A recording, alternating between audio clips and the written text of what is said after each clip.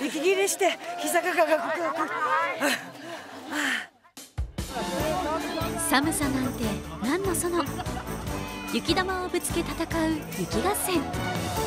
国際色豊か。熱戦が繰り広げられた大会でどんな人に出会えるのか。一日カメラを向けました。34回を迎えた魚沼国際雪合戦。2チームが特設コートで対戦し今年は141のチームが参加しました。お体格のいい男性2人組が。どちらからいらっしゃった。足立区です東京都。後輩がこの地元にいるので出場しようとなったそう。結構なメンツ集めてきたんで。最強っすよ多分初出場で初優勝目指して初出場初優勝。みんな甲子園で出てちなみに何高校で出たんですか？関東一高です。僕は聖光学院です。元高校球児。名門高校で甲子園の土を踏んだ2人。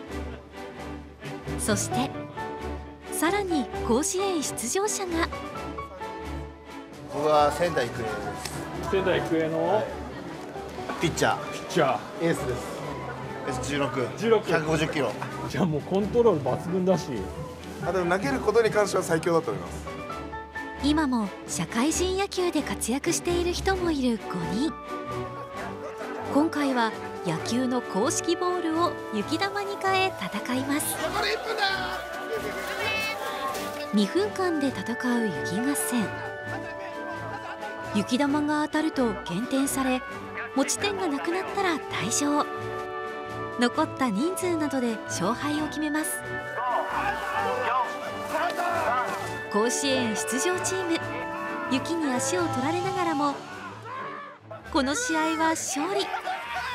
やっぱり球は速かった。こんにちは。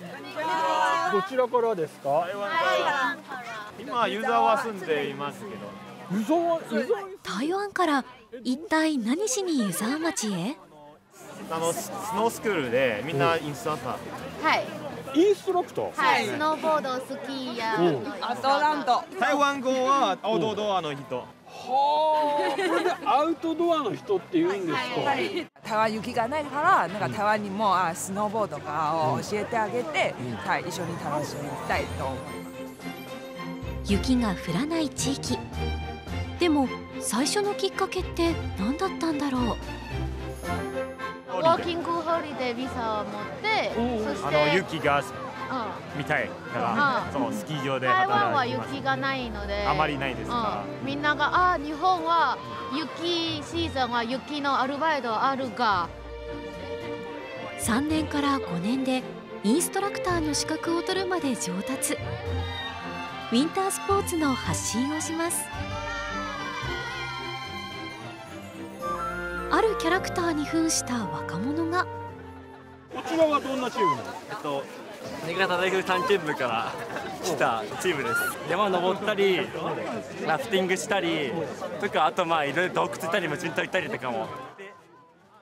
総勢100人ほどで活動する寝台探検部。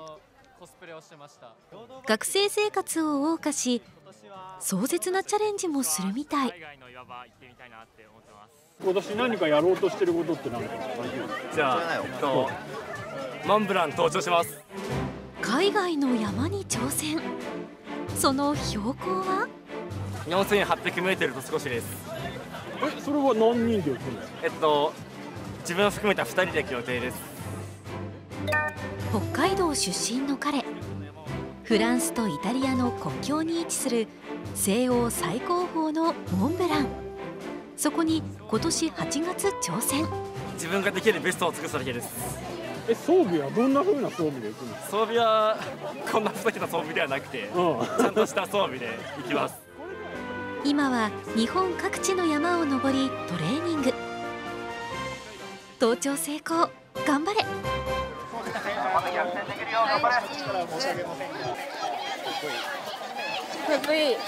どなたが出られてるんですか？あお兄ちゃんが出てますお兄ちゃん。そうっす可愛らしいものを持ってます25歳の兄と18歳の群馬にある作業療法士の専門学校に通う妹さん。今日は応援に駆けつけました。仕事はまああの家家を作ってます。高校卒業して専門行ってからですね。今なんで大工5年目です。自分親方で4と5と4とぐらいですあもう親方なんだ。あそうですものづくりが好きだったというお兄さん。妹さんにもあるものをプレゼント。ドレッサーとか作ってくれました。使いやすい。ゴーグルを装着し戦闘態勢へ。実はこのチーム去年準優勝攻撃の手を緩めず妹さんも声援を飛ばします。激しい攻防を制し勝利。準々決勝に駒を進めました。あじゃあこれ一緒のチームなんでこの家族と一緒家族が、はい、地元の小学校からの同級生って感じですねこの大人たちが今40歳。小学校から付き合いが続く同級生で結成。そのチーム名は？海と海の仲間たちです。私海のですでも私の仲間たちなんですよ。海野さんって言うんですか？海野さんです。私好きなんですか？海好きです。はい。みんな海の仲間です。え例えばどどんなことやられてる？山登ってます。え？ちょっとメダパニのように混乱海との関係って？もともとこのチームを作った時ゴミの拾う大会があるんですよ日本各地で。クリーンピックっていうのがあって、はい。ビーチで？そうです、はい。それでその時につけた名前がこれなんですよ。ゴミを一番多く集めたチームが優勝で優勝経験も。海野さんは海は好きなんですか？海好きですよ。でも山行くんですか？山も好きですどっちが好きなんですか？どっちも好きなんですよ。山小屋で働いてます。私は。海野さんだけど山小屋で働いてる。そうそうなんです。今は鹿島槍ヶ岳で山小屋を経営。登山客をもてなしているんだそう。お女性3人組。チーム名はもつコップ小出の、あのー有名なものがあのもつ生もつが小出有名なのでそれとコップっていうのは警察官なんていうんですか？ねあ警察官っていう組み合わせたものになってそれでは盛り上が魚沼名物の生もつ焼き。それに女性たちは警察官強さを隠すためにあのこの私服で出させてもらってます。柔道や剣道で鍛え抜かれた体。もちろん力には自信あり。どうしてこう警察官に。私交番に10円玉届けて褒めてもらったので嬉しくてああ私もこういう人になりたいと思って漠然と警察官を目指しました。魚沼で地域を守り防犯に貢献する女性たちでした。ど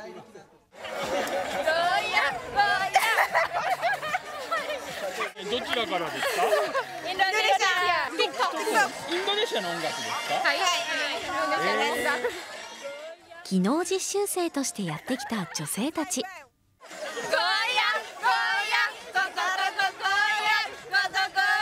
日本語では野菜のゴーヤと聞こえるけれど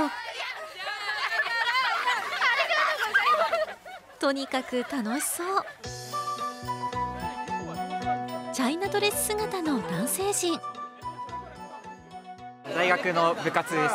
何の部活あいつもラフティングって言ってあの川下りしてるボートで4人乗りみたいな。一橋と津田塾の大学生。大学は違うけれど同じ部活で活動し青春真っ只中チームスポーツが好きだった。やりたいなって思ったので一つのボートをで4人で動かすのでなんかそうなんか意思を共有したいとかそういうのが必要なので。東京の多摩川の上流で週4回ほど練習し大会にも出場。3月に大会があって日本日本代表の選手日本選考会があります。今はその大会を目指し川でひたすら漕ぐ練習を。選ばれれば代表として世界の舞台へ。頑張ってください。ありがとうございます。あ何かの被り物をしているチームが。何のこれキャラクターなんですか？キャラクターこれは唐揚げです唐揚げ大分名物。名物です。はい。大分名物唐揚げなんですかそうです。うさからくんっていうキャラがいるんですよ。は大分県宇佐市ってとこかぶり物マスコットキャラ。可愛らしいキャラクターのうさからくん。宇佐市のアピールも兼ねて用意。そして宇佐市にはまだまだアピールポイントがあるといい。いやこう。USA ここからよ USA USA うさって言うと USA これで売ってるっていうこと。ですかそうです。おおアメリカン。体を温め準備運動。ん？どこかであったような。気合で。勝ちます大工の兄と作業療法士の専門学校に通う妹さんだ。去年準優勝したチーム名は狂月。チームの名前の由来って何なんですか？由来はうちのまあ親父が監督なんですけど監督が好きなお酒。虚月ってお酒あるじゃないですか焼酎。普通に野球とかまあ俺の親父みんな好きでみんな仲良くて。それでまあ親父亡くなってっからそのまあ監督としてチームを作ろうとなってってきたチームです。6年半前に他界した父。その父を慕って集まった仲間たちでチームを結成し監督として就任。天からチームを指揮します。魚沼国際雪合戦。試合は準々決勝。妹さんもチームを見守ります。父に勇壮な姿を見せたい。チーム狂月大丈夫か？勇敢に敵陣へと攻め込みますが。